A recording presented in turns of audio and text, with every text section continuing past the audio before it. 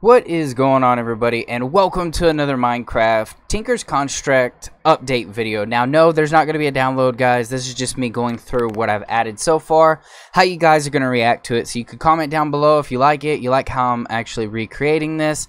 Uh, any suggestions is, you know, I would love for suggestions guys, put them in the comment section below. Also hit that like button to try and finish this to add it to Crazy Craft. If we get 400 likes, I definitely will add this to Crazy Craft on the next update for sure.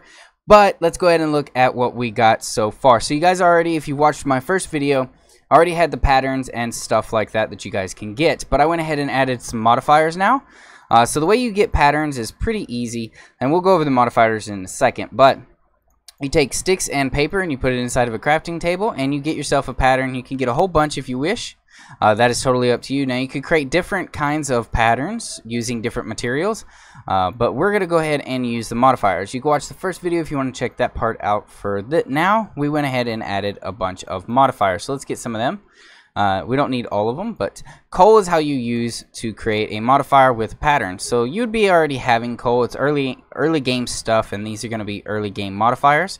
Uh, so let's go ahead and look at what we got. So I went ahead and added in wooden modifiers so you can have different stuff. So let's go ahead and look at that. You can see that we have gold wood sword and iron wood sword. Uh, these are all modified with gold, iron, and then we're going to have diamonds. So these are each going to be their own classified modifiers. So basically, if you take a uh, diamond, a modifier pattern, and you take like a wooden axe or whatever, we'll do the wooden pickaxe. You will get a diamond wooden pickaxe, and when you hold it, uh, it gives you you know perks and stuff. You could run around. So let me just go to uh, game mode S, like so, and uh, you know you can take off. But if you hold it, it's super fast. You guys can go through with the pickaxe. It's just a modifier that modifies early in game. It does have a lot more durability than a wooden pickaxe, and it's definitely a lot faster than shovels and uh, you know, axes for doing the trees. So if you want to create your other ones, you can as well. Uh, it's the same thing if you take a modifier, like so. Take in that, and you take like a wooden axe. The good thing is the modifier with diamonds and all those, whenever you do a modifier, you could take no matter how damaged it is and get a completely brand new one. So let's get that, and as well as the sword. Uh, so we got now all of these modified wooden pieces uh, which we also have all the wooden-fied gold and iron. Iron is a little bit different, guys, and so is gold. The way that these work is iron actually slows you down a little bit. It's not as fast and it's different damage, but let's go ahead and look at the pickaxe, actually, uh, so you guys can see that version. The swords just do damage, but this one slows you down a lot. It's a lot faster, or not a lot faster, but has way more durability than the actual diamond and the uh, gold, but it's slower. Uh, now, the uh, golden pickaxe here is insanely fast, but has no durability. Like, the durability is completely nerfed out, but yeah, that's pretty awesome for those as well. Uh, now, the swords do all different damage. So, the diamond sword does 6 damage, this one does 5, and this one does 4, I believe. Uh, and then the regular does 3, which is pretty neat. Now, I also added in the seared bricks here. So, to get that, you need Grout. And to get Grout, you need coal, or I mean uh, clay, sand, and gravel. And you take those and you can put inside of a crafting table like this. Doesn't matter the order.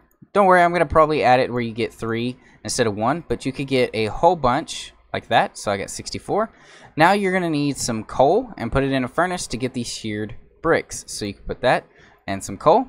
It'll smelt down and give you the seared brick form. Once you get these, you can actually go to the crafting table now and go ahead and create the bricks. And once you get a whole bunch of bricks, you can then create the smeltery, which I'll show you guys in a second. So let me go ahead and go back to creative. So let me go to game mode, uh, C, and let's go ahead and build ourselves the uh, smeltery here. Now this is all within the add-on. There's no no more command blocks or anything around uh, that I had with the smeltery. But if you go ahead and let's just build this up. So I'm going to place that there. Uh, let's place this here. And we're going to go ahead and I need the bricks. You need a whole bunch of these bricks. Now, the this is only the first stage. I'm going to be adding in a bunch more. I actually need a furnace. So let's take this furnace, place this here, and take this. You do need to do the floor like so when you're crafting this. You will be able to craft this, guys. Uh, it won't be like I did in my live stream the other day where you saw me just uh, throw a couple items and it spawned. That was just for me to test around But you will be able to craft this, and I'll make it where you could craft it higher and things like that. You can leave suggestions if you have any cool suggestions you guys would like me to try and recreate that. So there, you need to build it just like this. Now you can take a dropper.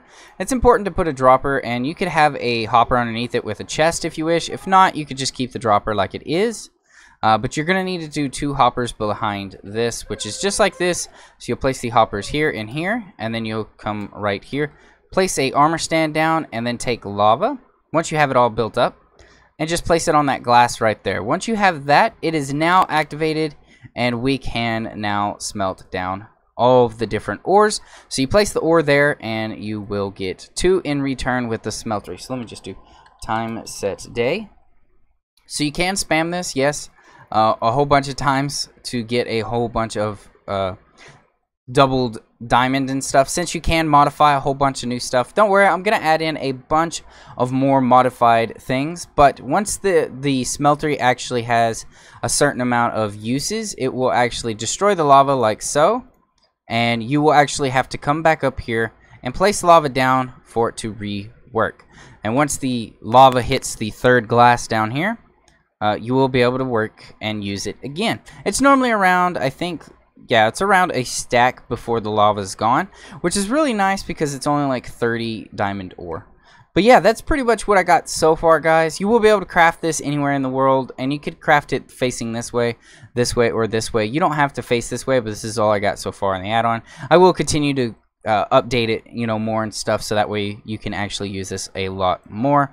Um, but yeah, let me know if you guys like this and what you're thinking about it, what your thoughts on on this and you know if if you liked how I'm doing it and how everything's working out if you have any suggestions on what I could do and what kind of modifiers because I am making them a lot different because I do have the vanilla which is diamond gold and iron.